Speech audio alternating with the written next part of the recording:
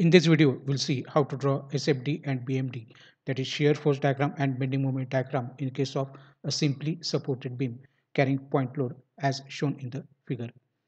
Now, we have to start with the calculations of reaction in this particular case. So, we'll apply the conditions of equilibrium.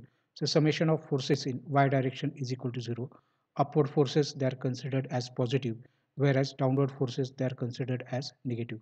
So Ra and Rb they are positive because they are acting in the upward direction.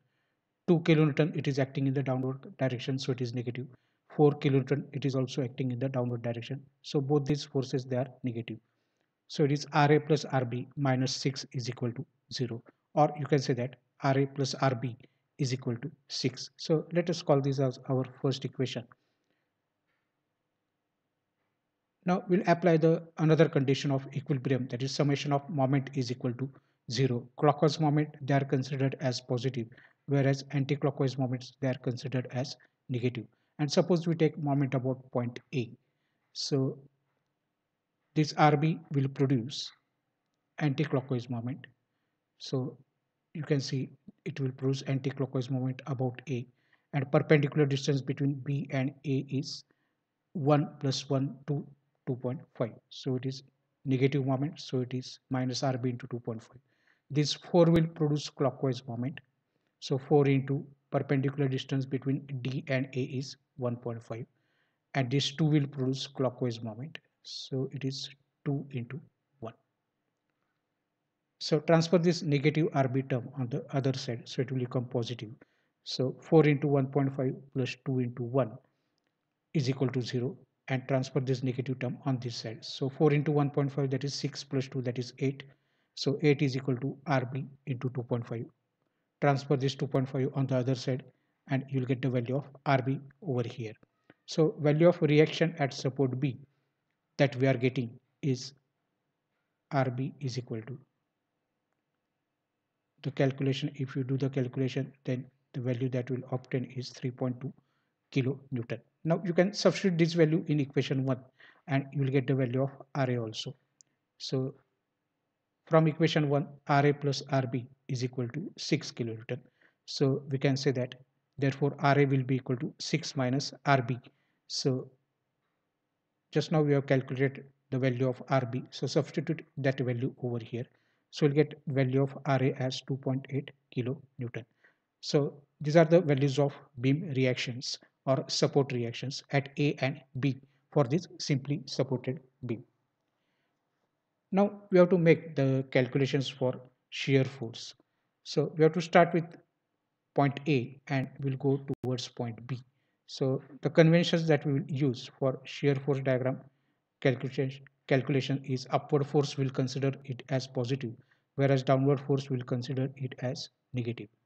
So start from this point A so at point A, what will be the shear force? It will be nothing but Ra, the reaction which is acting in the upward direction and the upward forces they are considered as positive. So Ra is positive and value of Ra is 2.8 kilonewton.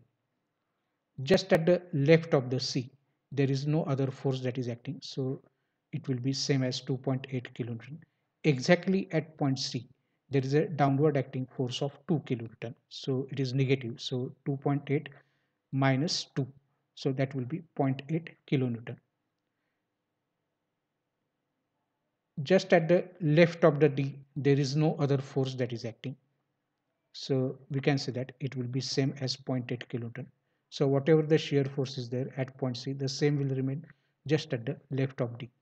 But exactly at d there is a downward acting force of 4 kilonewton. So we can say that it will be 0.8 minus 4 because this is acting in the downward direction and downward forces we are considering them as negative. So it is minus 3.2 kilo newton.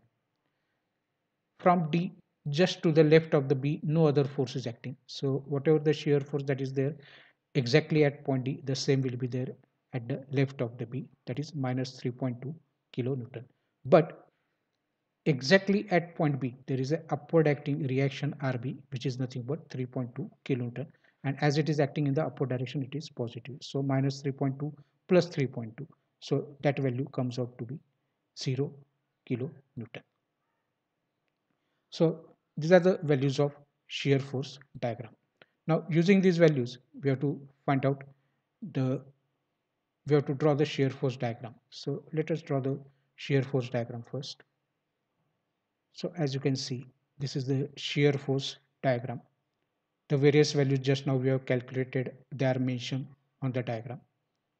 So at A it is 2.8, at C left it is 2.8, exactly at C it is 0.8, D left it is 0.8 kilonewton, exactly at D it is minus 3.2 kilonewton, remains same up to left of B and exactly at B it is 0 kilonewton. So this is the shear force diagram that we have obtained.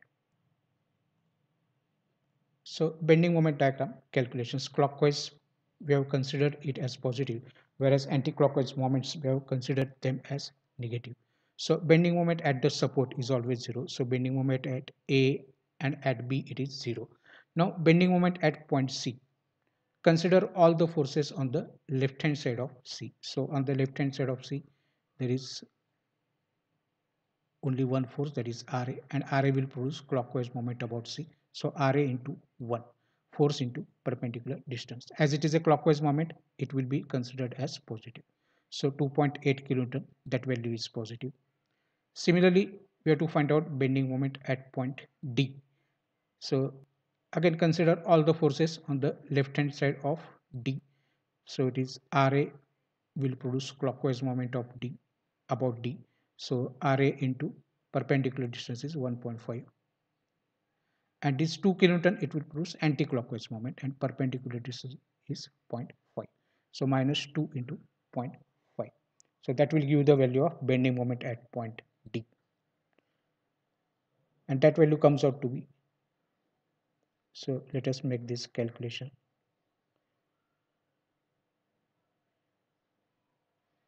So it is 3.2 kilonewton meter because force is in kilonewton and distance is in meter and bending moment at the support it is always zero. Right? so using these values we have to draw the bending moment diagram. So bending moment at the support is zero at c it is 2.8 kilonewton meter at d it is 3.2 kilonewton meter becomes zero at point b. So in this way we can draw sfd and bmd or shear force and bending moment diagram in case of simply supported beam carrying point loads. Thank you very much for watching.